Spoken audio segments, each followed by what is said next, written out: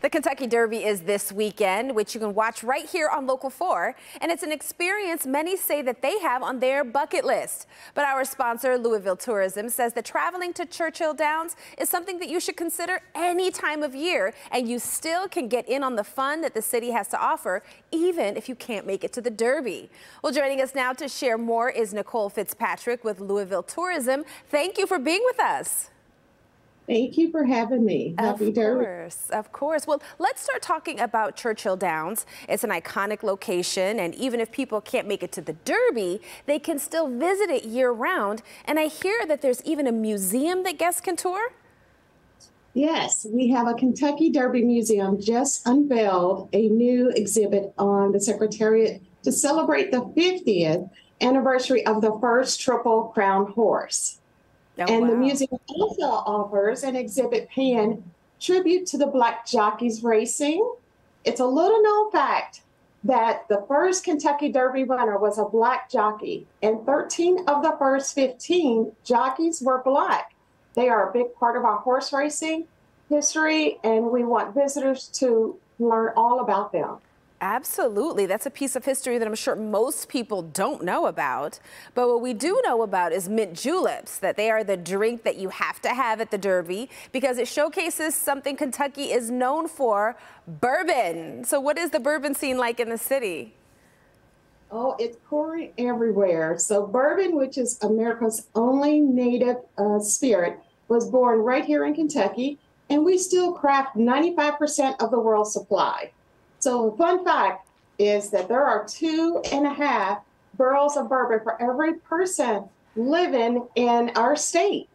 And we recently hit a major milestone uh, with over 2 million visitors experiencing uh, Kentucky Bourbon Trail, which is one of the best places to start your bourbon trail. Uh, is here in Louisville, Kentucky, at the Frazier History Museum, the official starting point. And Louisville's known as the Bourbon City, and we have so many new bourbon experiences opening that's open now and we have more to come soon if you can't tell bourbon is here to stay Absolutely. And that was going to be my next question about the distilleries. Are, is there any way that we can visit them or it's all part of this trail and this tour? Yes, actually, we have almost a dozen distilleries right here in downtown Louisville. Many of them have tasting rooms and gift shops. So if you don't go on a full tour, take advantage of that. Uh, you won't want to miss our brand new experiences, including the Buzzards Roost right here on Main Street, Bardstown Bourbon Company, which is opening soon. And then we also have Castle and Key, as well as number 15, which is brand new uh, and is a hotspot for live music and uh, to pair with your bourbon. All right, so now we've had a little taste of bourbon in Louisville. Now, what's your culinary scene like? Uh, Louisville here is a wonderful culinary scene, and we are a foodie city with over 2,500 independent restaurants. Uh, Travel and Leisure actually just named us as one of the best foodie cities in the U.S., so we are very proud of that. We're known for our regional and southern foods. Uh, visitors will definitely want to try a hot brown. It is an open face, cheesy sandwich that is warm and it is made with turkey and tomatoes. It is amazing. It was invented by the Brown Hotel here in Louisville, and this historic hotel is turning 100 this year. So we are super excited about that. Wow, that's quite the milestone. Now, finally, you can't think of the Kentucky Derby without thinking of horses. Can you actually tour any ranches around town?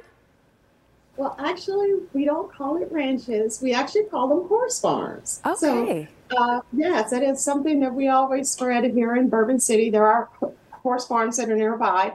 The Kentucky Derby Museum actually offers a great tour that takes visitors from the track to a horse farm with lunch and a wonderful bourbon tasting as well. It's a great way to experience both the historic Churchill Downs and the beautiful setting of Hermitage Farm. All right, so that's a win-win there. So you get to visit the horses, learn more about them, and have some bourbon all at one place. Well, Nicole, thank you so much for speaking with us today and telling us all about Louisville.